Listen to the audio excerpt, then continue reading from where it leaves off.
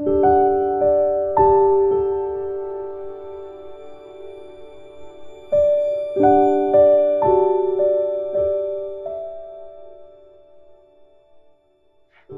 sabedoria popular, Casimiro Cunha. Evita o excesso de adorno, de ovelha muito louçã, toda gente se aproxima e todos desejam lã. Quando ouvires descrições de dinheiro e santidade, escreve as anotações na metade da metade.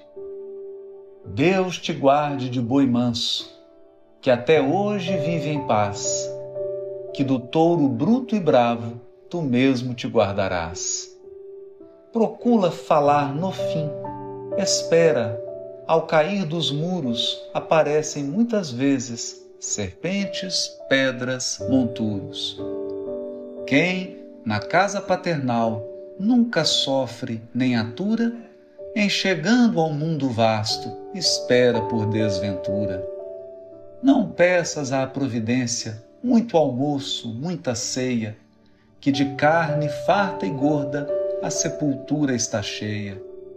De nada valem bons verbos e códigos de bom tom, se vives falando a esmo sem praticar o que é bom.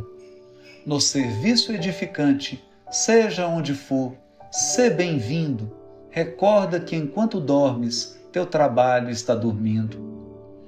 Não te des a bajulice, o mais feliz cortesão perde a paz da vida livre e acaba na escravidão. Se resistes à verdade, sarcástico, altivo e forte, serás por ela esperado no campo de dor da morte.